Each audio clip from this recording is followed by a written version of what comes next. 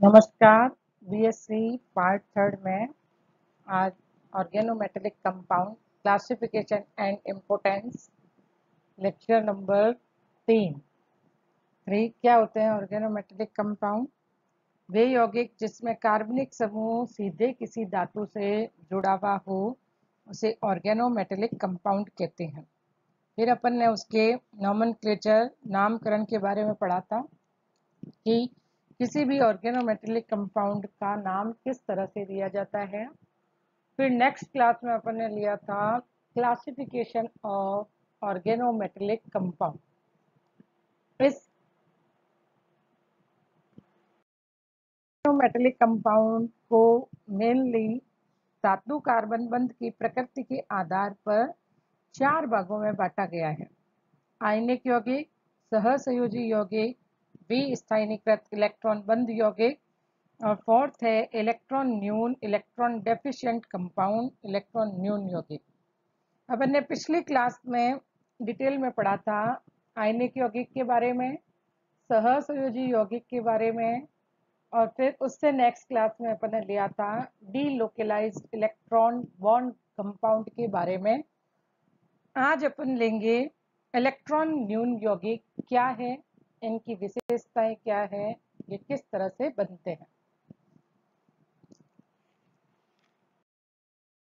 Electron न्यून यौगिक। वे यौगिक जिसमें सेंट्रल परमाणु का अष्टक अपूर्ण होता है, अष्टक न्यून यौगिक कहलाते हैं। इनमें सेतु बंधों के द्वारा बहुलीकरण से अणु का निर्माण होता है। इसमें दो तरह के बंध पाए जाते हैं। एक two centre two electron bond और दूसरा three electron two centred bond electron न्यून यौगिक नाम से ही पता चल रहा है। ऐसे यौगिक जिसमें इलेक्ट्रॉनों की कमी हो। कमी का मतलब जिसके केंद्रीय परमाणु में आठ से कम छह इलेक्ट्रॉन हो, वे कहलाते हैं इलेक्ट्रॉन न्यून यौगिक। जब किसी भी केंद्रीय परमाणु का अष्टक अपूर्ण होगा तो वो पास वाले कंपाउंड के साथ में अपना अष्टक पूर्ण करने के लिए सेतु बंध का निर्माण करेगा। और जो सेतु बंध बनते हैं, उसके अंदर three centre two electron bond बनता है। क्योंकि पास वाले कंपाउंड के पास में भी केंद्रीय परमाणु पर इलेक्ट्रॉनों की कमी है। तो दोनों अपना अष्टक पूर्ण करना चाहते हैं, इसलिए दोनों ही सेतु बंध ब्रिज बॉन्ड का निर्माण करेंगे। और ये जो सेतु बंध या बनाना बॉन्ड होता है, वो three centre two electron bond प्रकार का होता है। जैसे इसे एक एग्ज़ाम्पल से समझते हैं C H three whole six A L two यानी A L C H three का होल थ्राइज का बहुलीकरण हुआ, द्विलकीकरण हुआ डाइमेराइजेशन हो गया, जिसमें दो A L C H three whole thrice आपस में जुड़े हुए हैं। तो यहाँ देखिए, पहले अपन लेते हैं, एक एल्यूमिनियम की बात करते हैं। जब अपन एक एल्यूमिनियम की बात करते हैं तो इस एल्यूमिनियम पर तीन सी एच थ्री लगे हुए हैं। दो सी एच थ्री यानी जो कॉर्नर पर सी एच थ्री लगे हुए हैं, जो कॉर्नर पर सी एच थ्री है, ये एक जैसे हैं। इसमें two centre two electron bond बना हुआ है। ये जो तीसरा सी एच थ्री है, वो दो एल्यूमिनियम को, परमाणुओं को आपस में जोड़ रहा है। तो जब दो एल्यूमिनियम केंद्रीय धातु को आयन को ये आपस में जोड़ेगा तो यहाँ पर ये ब्रिज की तरह, सेतु की तरह कार्य कर रहा है। इस सेतु वाले बंध में ये बंद बनता है three centre two electron bond इसी तरह से दूसरे एल्यूमिनियम की बात करें तो जो दो कॉर्नर वाले सी एच थ्री है, उसमें तो पाया जाएगा two centre two electron bond और जो बीच में जुड़ा हुआ सी एच थ्री है, वो दो एल्यूमिनियम को जोड़ने का काम कर रहा है तो ये पाया जाएगा three centre two electron bond तो एग्ज़ाम में आपको पूछा जाता है इलेक्ट्रॉन न्यून यौगिक या कार्ब धात्विक यौगिक क्या होते हैं? उदाहरण सहित समझाइए। तो ये उदाहरण देकर अपन इसे समझा सकते हैं। नेक्स्ट एग्ज़ाम्पल लेते हैं। R four lithium four C H three whole four lithium four इस एग्ज़ाम्पल में जब लिथियम बहुलीकरण के द्वारा इस स्ट्रक्चर का निर्माण करता है तो एक चतुष्फलकीय संरचना सामने आती है। और चतुष्फलक के चारों कोणों पर लिथियम परमाणु उपस्थित है। देखिए इसे, ड्रॉ की हुई है स्ट्रक्चर इसमें देखो, lithium C H three lithium, फिर C H three lithium C H three यानी चार जगह पर लिथियम लगे हुए हैं और चार जगह पर सी एच थ्री लगे हुए हैं।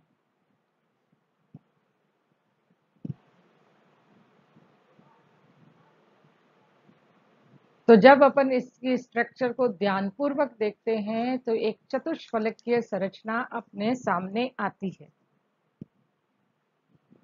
तो ये भी एक इलेक्ट्रॉन न्यून यौगिक है। जब लिथियम CH3 के साथ में बंध बनाता है तो इसका अष्टक पूर्ण नहीं होता। तो ये पॉलीमराइजेशन के द्वारा चार परमाणुओं के साथ में, चार यौगिकों के साथ में जुड़कर CH3 whole four lithium four का निर्माण करता है, जो कि एक stable electron deficient organometallic compound है। हैं कार्ब यौगिकों का महत्व। कार्ब धात्विक यौगिक अपने विशिष्ट गुणों के कारण से अत्यधिक महत्वपूर्ण होते हैं। अतः एक महत्वपूर्ण शाखा कार्ब धात्विक रसायन के अंतर्गत इनका अध्ययन किया जाता है। इनके उपयोग निम्नलिखित है। फ़र्स्ट उपयोग अपन लेते हैं औषधि में, दवाई के रूप में। तो प्रमुख औषधियाँ और प्रयुक्त धातु निम्न प्रकार के औषधि में महत्वपूर्ण है। फ़र्स्ट देखिए मर्क्यूरोक्रोम एच जी का मरकरी का एक कार्ब धात्विक यौगिक है। इसका उपयोग एंटीसेप्टिक में किया जाता है।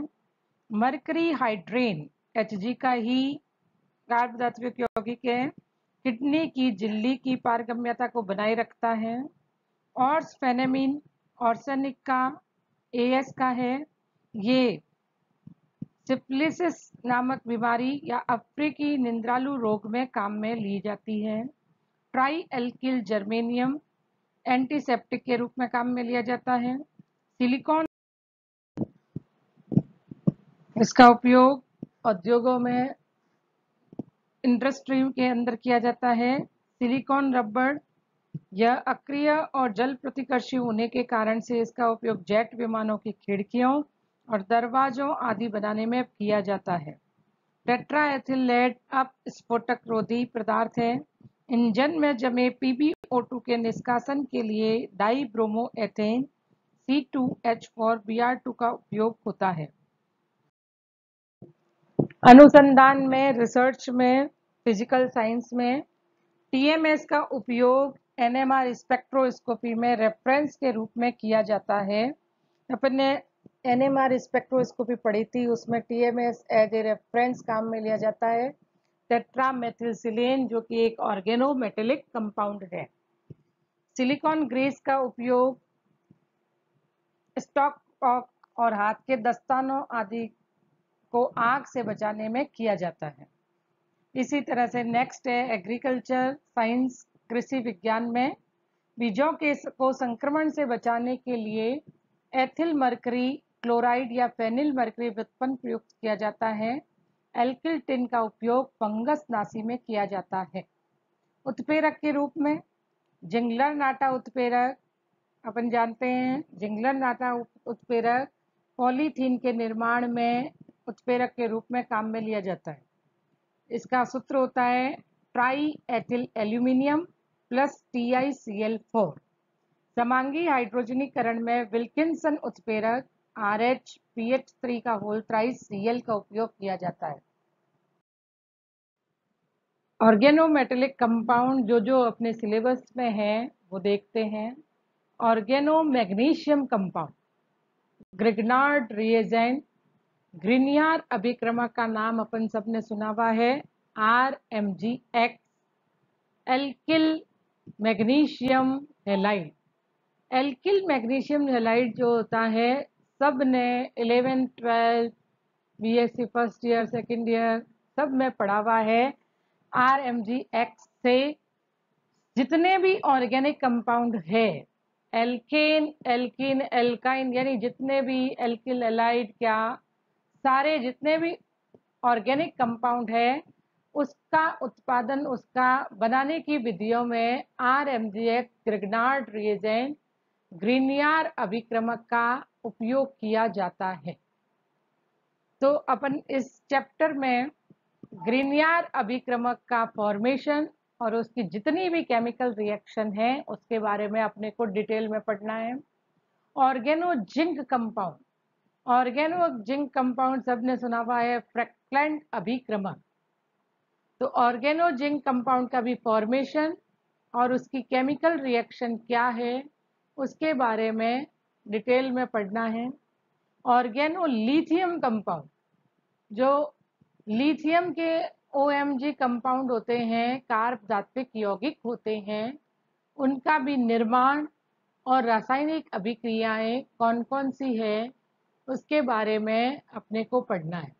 तो टोटल कितने नए कंपाउंड हो गए? तीन मैग्नीशियम का ग्रीनियर अभिक्रमक जिंक का फ्रैक्लैंड अभिक्रमक C two H five volt Z N और ऑर्गेनोलिथियम कंपाउंड लिथियम के ओ कंपाउंड इन तीनों का फॉर्मेशन और जितने भी केमिकल रिएक्शंस है, वो अपने को पढ़नी है।